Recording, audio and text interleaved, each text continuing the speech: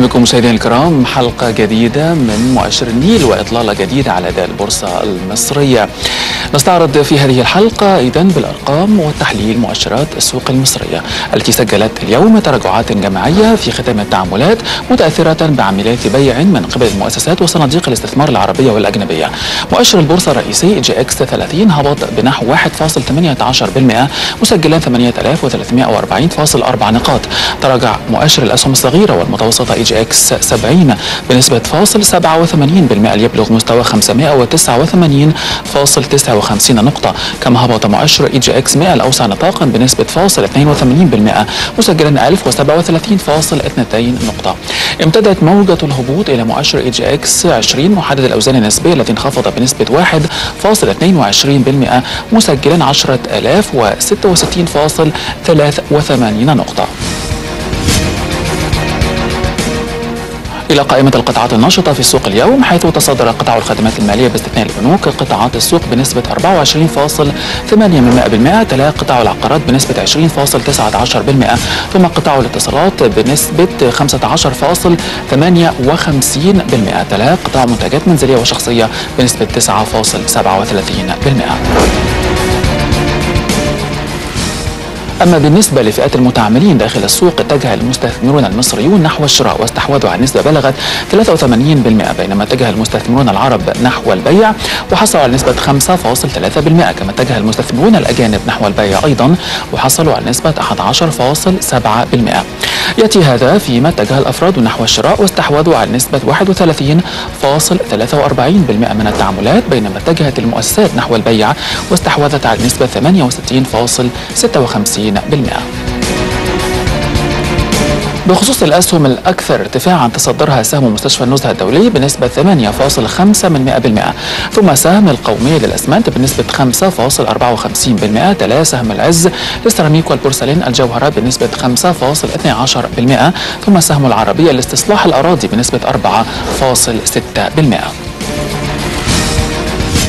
أما الأسهم الأكثر انخفاضا فقد تصدرها سهم السويس للأسمنت 70% ثم سهم التعمير والاستشارات الهندسية بنسبة 5.1% تلا سهم Golden Coast السخنة الاستثمار السياحي بنسبة 4.91% ثم سهم مجموعة GMC للاستثمارات الصناعية والتجارية والمالية بنسبة 4.46%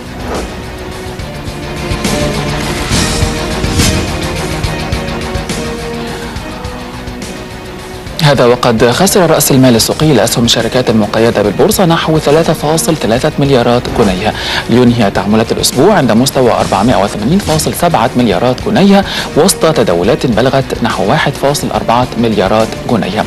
التفاصيل في سياق التقرير التالي ولكن قبل أن نشاهد التقرير دعونا نرحب بضيفنا الأستاذ شريف وحيد خبير أسواق المال. بنرحب بحضرتك معنا. أهلا وسهلا. سنبدأ تحليل كواليس البورصة معك ولكن بعد أن نشاهد هذا التقرير ثم نعود مرة أخرى.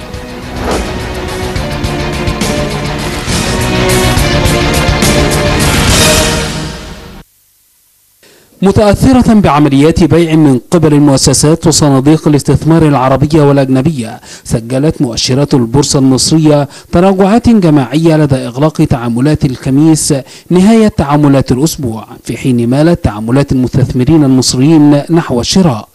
تراجع المؤشر الرئيسي للبورصة المصرية EGX 30 بنسبة 1.18% ليبلغ مستوى 8340.4 من عشرة نقطة كما تراجع مؤشر الأسهم الصغيرة والمتوسطة EGX 70 بنحو 87 من 100% وشملت التراجعات مؤشر EGX 100 الأوسع نطاقا والذي خسر نحو 82 من 100% وخسر رأس المال السوقي لأسهم الشركات المقيدة بالبورصة نحو 3.3 مليار جنيه لينهي تعاملات الأسبوع عند مستوى 480.7 مليار جنيه. وسط تعاملات بلغت 1.4 مليار جنيه ليسجل بذلك تراجعا أسبوعيا بنحو 15 مليار جنيه. وقال وسطاء بالبورصة إن السوق بدأت في ارتفاع استكمالا للصعود الذي شهدته الأربعاء إلا أن تصريحات وزير الاستثمار بأنه لا نية للتراجع عن الضرائب في البورصة بدلت مؤشرات السوق نحو الانخفاض. وأضاف آخرون أن المستثمرين في حالة من الترقب لما ستسفر عن تطبيق الضريبة على البورصة وتأثيرها على السوق وبين القرارات التي ستتخذها الحكومة لدعم وتشجيع الاقتصاد وجذب استثمارات جديدة.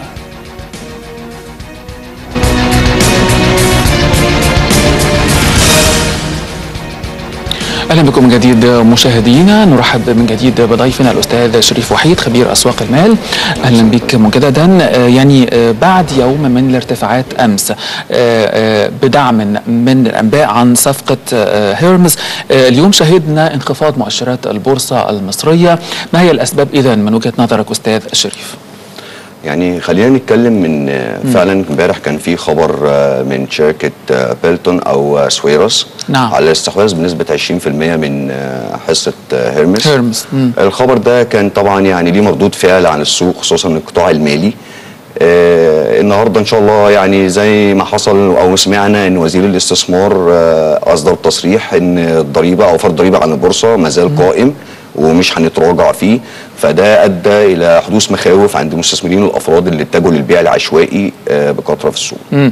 ده رغم إن كان السوق ابتدى يتقبل فكرة وجود الضريبة على البورصة خصوصا بعد التعديلات اللي ادخلت وشاهدنا بعد هذه التعديلات على القانون إن الجلسات ابتدت تشهد ارتفاع بعد انخفاض حاد على إثر تسريب خبر فرض هذا هذه الضريبة. تمام. يعني. خلينا نتكلم إن طبعا أول ما صدر القرار بتاع فرض الضريبه هو الموضوع أساسا هيستوري شوية. يعني نعم. الموضوع من فترة طويلة. إحنا بنتكلم فرض الضريبه دي في كذا مرة يمكن في كذا موضع حصل. آه لكن يعني آه النهارده طبعا هم مصممين إن هم يفرضوا ضريبة على الأرباح الرأسمالية سوق المال أو البورصة. آه الخبر كان موجود. آه امتصينا الخبر نزلنا طبعا صححنا امتصينا الخبر. النهارده طبعا الناس أو الأفراد عموما كانوا قالوا إن ساعتها الحكومة قالت إن الضريبة هتتعرض على السيد الرئيس ولسه ما أقرناش هنفرض ضريبة ولا لأ. مم. فده طبعا خلى الناس تفكر أو السيكولوجي بتاع الناس قالوا خلاص إحنا أكيد الرئيس مثلا هيحصل تعديلات الضريبة مش هتتفرض طالما ما حدش لحد دلوقتي طلع بتصريح وقال أه إحنا هنفرض أو ما هنفرضش. فطبعا كان كله حاطط في مخيلته إن ممكن الموضوع يتلغي إن ممكن الموضوع يحصل فيه كلام تاني. لكن طبعا بعد التصريح وزير الاستثمار النهارده أشرف سلمان اللي هو قال إحنا مش أه هنلغي والضريبة ديت موجودة معانا عشان ندعم الموازنة العامة بتاعه الدولة والكلام ده كله. فده طبعا أدى المخاوف للمستثمرين الأفراد اللي كانوا حاطين عندهم backup قبل كده إن هم القرار كان ممكن يحصل فيه كلام أو كان ممكن يتلغي. مم. طيب البعض بيرى إن هذا القانون يمثل أول خروج من السياسات الرأسمالية اللي كانت متبعة في عهد الرئيس الأسبق حسني مبارك. هل تتفق مع هذا الرأي؟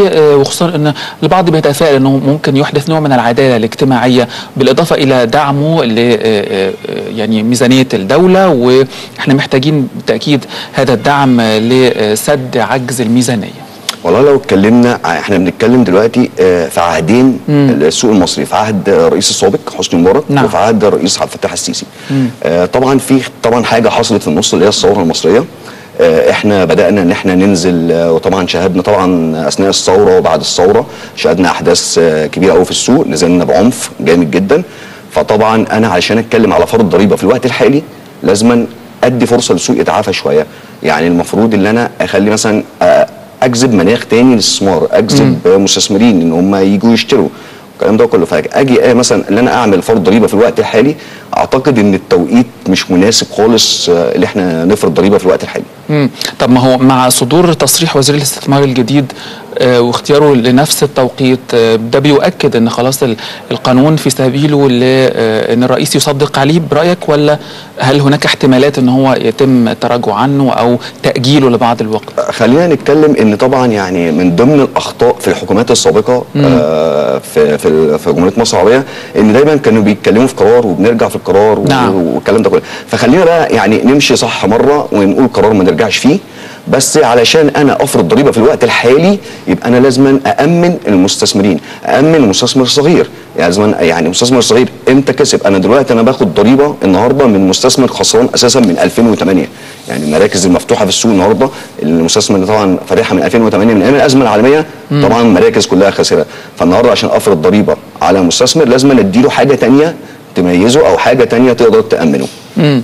طيب آه، آه، ليه السوق ما تأثرتش ايجابا آه، بما يكفي بعد التشكيلة الجديدة لل- للحكومة وخصوصا إنها ضمت وزير جديد للاستثمار؟ تمام. يعني برضك إحنا بنتكلم النهارده في تشكيل حكومي آه حصل نعم. والكلام ده كله بس إحنا عندنا نوعين من الأخبار. عندنا أخبار سياسية وعندنا أخبار اقتصادية. الفترة بتاعت خريطة الطريق اللي قدرت المؤسسة المصرية اللي هي آه نجحت في إتمام أول جزء من أو أول مرحلة من خريطة الطريق والمرحلة الثانية فده طبعا كان ليه مردود فعلي على السوق وطلعنا والناس يعني طبعا آه، حصل جذب رؤوس أموال والعرب طبعا خصوصا السعودية أو الإمارات دعوا مؤتمر الدول المانحين لمصر. آه، طبعا إحنا خلاص إحنا امتصينا الاخبار السياسية خلاص. فإحنا محتاجين الفترة اللي جاية دي أخبار اقتصادية. يعني خلاص إحنا عايزين نتوجه بقى السيد الرئيس النهارده بيتكلم إحنا عايزين نشتغل. تمام؟ فإحنا عشان نشتغل لازم يبقى في إجراءات نمشي عليها. تمام؟ يعني بنتكلم بقى النهارده في أخبار اقتصادية. يعني في عمل لازم الحكومة النهارده أنت مش معنى الحكومة يعني النهارده مثلا اتكونت لا إحنا عايزين بقى الحكومة تشتغل. عاوزين أخبار اقتصادية قوية عاوزين استحواذات عاوزين إجراءات إيجابية للسوق المصري عشان نجذب المستثمرين تاني للسوق المصري. طيب آه، آه، النهارده المؤشر الرئيسي للبورصة EGX 30 آه، تراجع آه، بنسبة 1.18% وسجل 800 آه، 8340 نقطة. آه، دلالة هذا الرقم اللي سجله عند الإغلاق ومن خلاله آه، ممكن نقرأ نقاط الدعم والمقاومة إزاي في هذا المؤشر؟ طيب آه، يعني قبل ما نجاوب على السؤال ده خلينا نرجع لورا شوية إن إحنا في آه، تقريبا في شهر مارس الماضي نعم. كان عندنا آه، هبوط آه، عنيف لحد مستوى ال 7400 تقريبا أو 7389 حاجة زي كده. ابتدينا إن إحنا نرد تاني لمستوى المقاومة 8800 آه، طبعا بعد ما عدينا مستوى مقاومة مهم مهم جدا في السوق اللي هو 8600 طبعا في الحتة دي وقفنا شوية طبعا آه، كانت ظروف ساعتها الانتخابات الانتخابات الرئاسية. وكان في مخاوف عند الناس آه، يعني يحصل حاجة أثناء الانتخابات والكلام دوت كله. فنزلنا شوية وصلنا تاني لحد 7 7700 النهارده بتاني بنبتدي نرد تاني 8800 عشان نجربها لقينا قوة بيعية برضك عند 8800 ده معناه إن هو مستوى مقاومه مهم جدا للسوق المصري. طيب إحنا لما جينا نزلنا ل 7700 صححنا ونزلنا طلعنا تاني ل 8800 فلقينا هنا حتة حتة إيه؟ لقينا بياع قوي جدا. تمام؟ وظهرت على الساحة ساعتها موضوع الضريبة. تمام؟ ادى برضك إلى نزول إيه؟ السوق مرة تانية. إحنا دلوقتي رحنا لمستوى تقريبا 8389 تقريبا أو آه، 8400 حاجة زي كده. ابتدينا إن إحنا المفروض نرد من من الحتة دي ما ردناش. فخلينا نتكلم إن إحنا إمتى السوق هيرد تاني ويتعافى. إحنا عندنا بعد ما كسرنا آه، مستوى الدعم ال 8500 وده كان مستوى دعم مهم جدا للمضارب قصير الأجل. آه، نزلنا طبعا نجرب على 8330 8350 آه، هل هنتماسك هل هنرد آه، أنا شايف إن الحتة دي بالنسبة لي blind area blind area يعني منطقة عمياء. مش هقدر أقول إن أنا هرد من مستوى معين. لا أنا عندي حد أدنى 8100 وحد أعلى 8400 في الحتة دي في أي حتة من دول أو في أي مستوى من دول أعتقد إن في هيبقى ارتداده قوية للسوق المصري. نعم. طيب نرجع للخبر المسيطر على البورصة آه، في هذه الأثناء وهو آه، صفقة هيرمس. تمام. آه، برأيك آه، تأثير هذه الصفقة على مؤشر على المؤشر الرئيسي وأيضا على أسهم آه، القطاع طبعاً. المالي؟ برأيك إيه والأسهم القيادية بشكل عام؟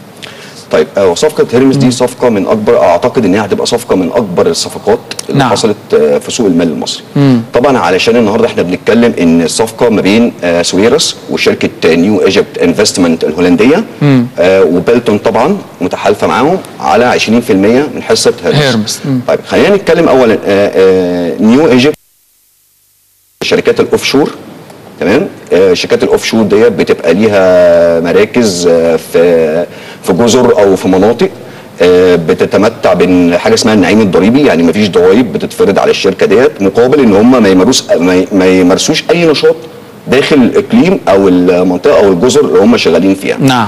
تمام؟ فبالتالي هيبقى في عندي حاجة إن أنا مش هقدر إن أنا أعرف هيكل الملكية كام بتاع أو هيكل الملكية إيه بتاع آه، New Egypt آه خلينا نتكلم إن صفقة الاستحواذ آه اتقيمت بعرض شراء اختياري هو 16 جنيه.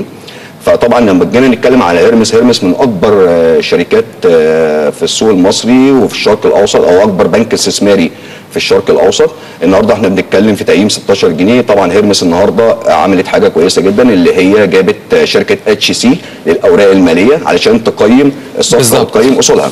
تمام؟ فأنا النهارده عندي 16 جنيه. هل مثلا HC شايفة إن 16 جنيه ديت سعر عادل لهيرمس؟ ولا آه، السعر هيبقى أعلى من كده؟ آه، ده اللي هنعرفه الأيام اللي جاية. يعني اختيار شركة HC الأوراق المالية كمستشار مالي لتقييم آه، الأسهم أو قيمة الأسهم آه، هل بيحمل دلالة معينة من آه، من جانب آه، آه، المتقدمين لعرض الاستحواذ؟ هو طبعا لو اتكلمنا عن شركة HC هي شركة محايدة أو مستقلة. نعم. تمام؟ فده طبعا بيدي طمأنينة أكتر للمساهمين آه، في شركة هيرمس. تمام؟ وطبعا في آه، عرض شراء هينزل طبعا في السوق آه، المصري أو سوق الصفقات على عملية البيع. اللي عايز يتقدم من المساهمين وشايف إن هو مثلا آه السعر كويس بالنسبة له هيتقدم بالبيع. مم.